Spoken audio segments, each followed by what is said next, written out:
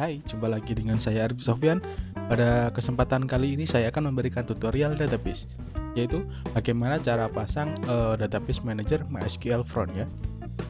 Uh, langkah pertama yaitu Anda masuk ke uh, situsnya yaitu www.mysqlfront.de.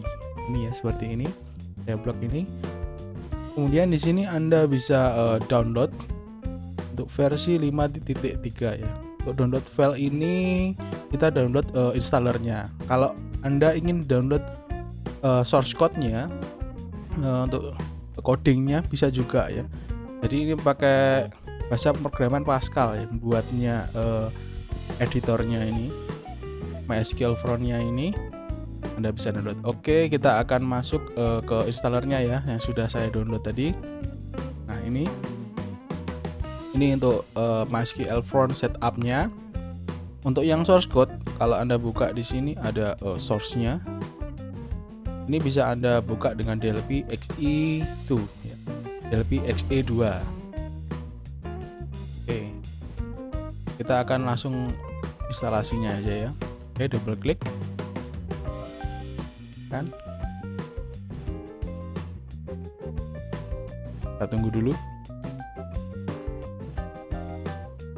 uh, MySQL Front ini uh, bisa Anda gunakan untuk database uh, MySQL atau MariaDB. Di sini saya akan menggunakan databasenya MariaDB yang akan saya gunakan di database manager MySQL Front. Oke, kita next. Oke, next lagi.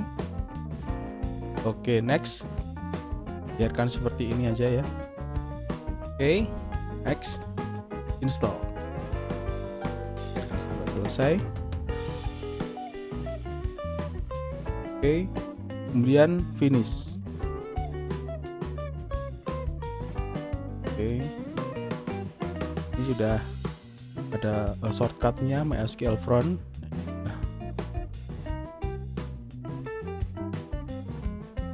Bentar. biarkan dia nah ini sudah heran Oke, untuk name-nya bisa Anda isi terserah Anda ya. Saya isi aja MariaDB gitu.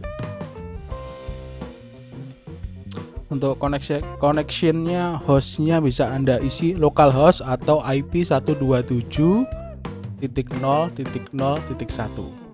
Kita isi IP aja ya.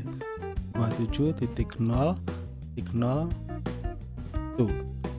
Oke, untuk portnya 3307 karena uh, database MariaDB yang saya pasang saya ganti portnya menjadi 3307 oke okay? ya usernya masukkan root password kalau tidak pakai password kosongkan saja karena saya pakai password saya masukkan passwordnya kemudian oke okay. kemudian open ya nah ini sudah uh, masuk ya sudah bisa Anda gunakan untuk uh, manajemen database. Uh, ini saya gunakan MariaDB ya. Nah, secara engine sama dengan MySQL, jadi bisa digunakan juga. Oke, saya kira sekian untuk uh, tutorial cara pasang uh, database manager MySQL Front. Terima kasih dan jangan lupa untuk subscribe atau berlangganan di channel video YouTube ini. Terima kasih.